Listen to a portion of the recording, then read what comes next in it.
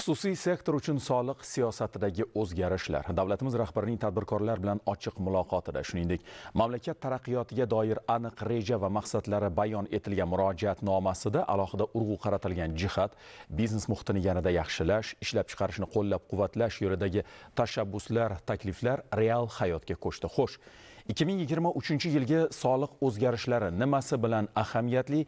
Bu ishbilarmonlarga qanday qo'shimcha qulayliklar taqdim etadi? 2023 yilgi soliq o'zgarishlari stavkalar pasaydi. Ayrimlari unifikatsiya qilindi. Eng muhim o'zgarish bu albatta qo'shilgan qiymat solig'i stavkasining amaldagi 15 foizdan 12 foizga tushirilgani bo'ldi. Ya'ni 3 foizga pasaydi. Dastlabki prognozlarga ko'ra qo'shilgan qiymat solig'i borasidagi bu yangilik evaziga tadbirkorlar ixtiyorida yiliga kamida 14 trillion so'm aylanma mablag' qoladi. Bu fakt soliq siyosatidagi bitta o'zgarishning iqtisodiy effekti.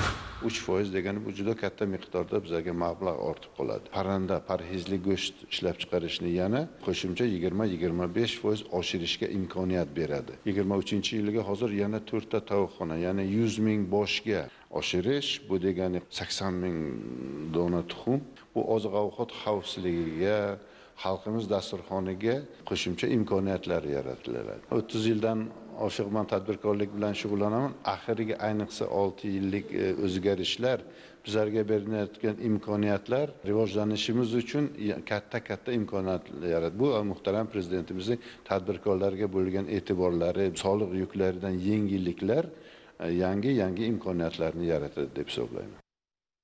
Qo'shimcha qiymat solig'ini pasayishi munosabati bilan katta imkoniyatlarga ega bo'lganimizni his qilib turibman.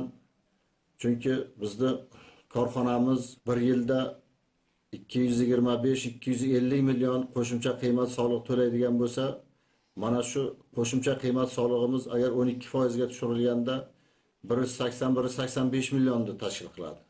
Biz shu yerda o'z o'zidan mana shu bitta qo'shimcha qiymat solig'ini 12 foizga tushirilishi hisobiga 45-50 million so'mlik e, daromad qilyapmiz bu degani tadbirkorni imkoniyatiga imkoniyat qo'shadi. Muhtaram prezidentimizga mana shunday imkoniyatlarni biz tadbirkorlarga yaratib kelayotganliklari uchun ham men e, juda o'zimni minnatdorchiligimni bildiraman. Qo'shilgan qiymat solig'ining 15 foizdan 12 foizga tushirilishi albatta bu narx navoga ham ta'sir qilishi kerak. Chunki e, qo'shilgan qiymat solig'i narx navoga bevosita ta'sir qiladigan soliq turi hisoblanganligi sababli 1 yanvardan boshlab narx navolar ham tushishi sezilishi kerak. Albatta bu o'rinda tadbirkorlarimizga ham fuqarolarimizga ham bu borada faol bo'lishini so'rab qolamiz.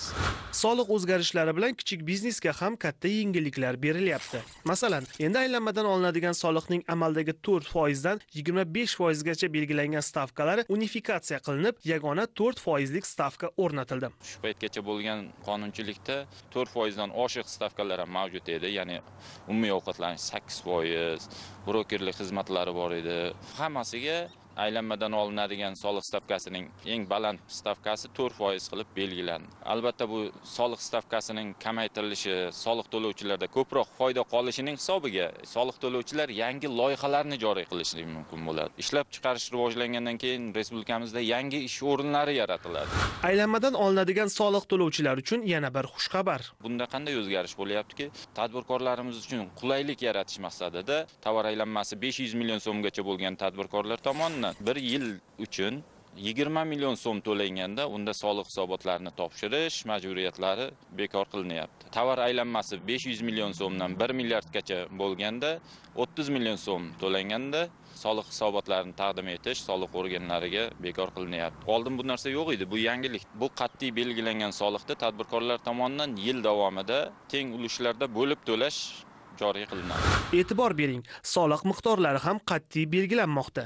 Bu nima degani? Ya'ni endi aylanmasi 500 million so'mgacha bo'lgan tadbirkorlar oyiga 1.6 million so'm aylanmasi 1 milliard so'mgacha bo'lganlar har oy 2,5 million so'm soliq to'lashga o'tadi. Foyda solig'i bo'yicha ham o'zgartirishlar kiritildi. Ya'ni foyda solig'i bo'yicha tovar aylanmasi 1 milliard so'mdan oshib foyda solig'iga o'tgan soliq to'lovchilarga dastlabki bir yil davomida e, foyda solig'ini stavkasini kamaytirish huquqi berildi tovar aylanmasi 10 milliarddan oshganda esa dastlabki 2 yil davomida foyda solig'i stavkasini kamaytirish huquqi berildi Ekspertlarning fikricha qo'shilgan qiymat solig'i yoki foyda solig'i stavkasining pasayishi, umuman soliq yukining kamayishi juda muhim o'zgarish. Biznes muhitini yaxshilash, ishbilarmonlar uchun qo'shimcha qulayliklar taqdim etish yo'lidagi yana bir muhim qadam. Soliq siyosatidagi bu yangiliklardan faqat ishbilarmonlar naf ko'radimi? Yo'q, soliq yukining pasayishi sizu bizning hayotimizda ham albatta aks etadi.